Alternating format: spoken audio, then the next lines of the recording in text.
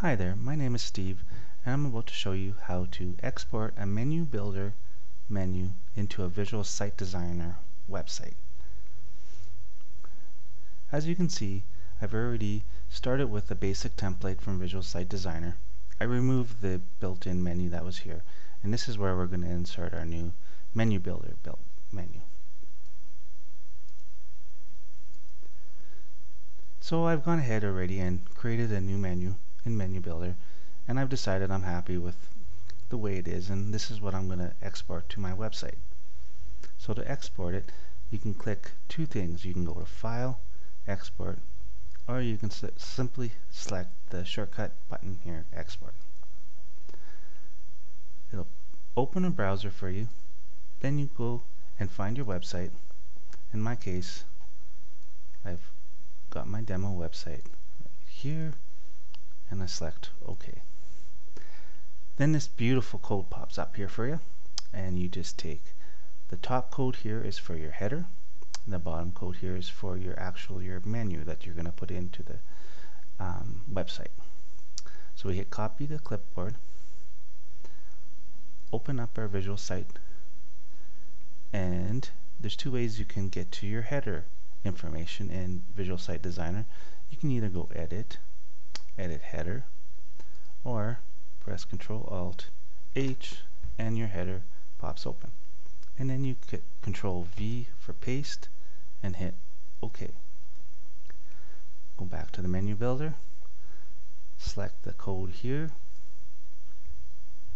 back to Visual Site Designer and then we'll add a HTML element. Select the button select where you want your menu to appear. So I'll say right around here. And we'll name it.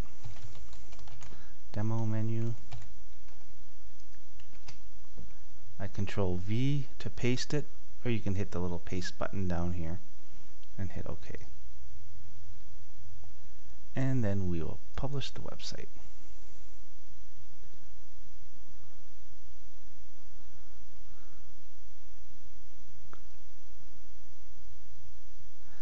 I just want to demonstrate to you what it actually looks like at this point of the, of the, of the game here. So we'll open up the website and we'll just refresh it. You see it's kind of all messed up in here. It's just like a plain unordered list. We want to make that into a nice menu that we just built. So the final step is we'll open up our direct FTP. I've already programmed uh, my server. You'll have to enter the information for your server that could be covered in another tutorial. But basically what we want to do now is I'm going to refresh and there's going to be a file called menu demo exported. In your case it'll be whatever you named your menu. It's important not to upload this file to the server. If you upload this file your menu still will not work.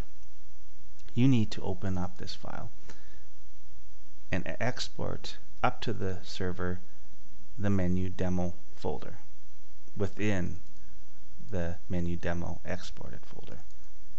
So we'll open that up and I will upload this to the server now.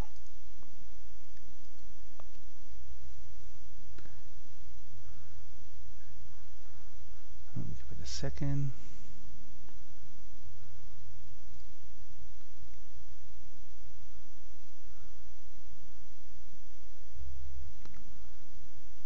See the jobs being processed as we speak here.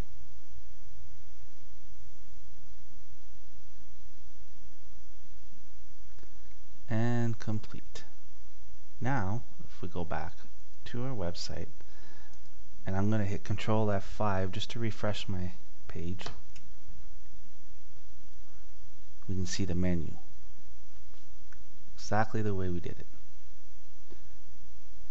it's a little bit off here but that's only because the HTML box we can just move up in Visual Site Designer a little bit and republish it.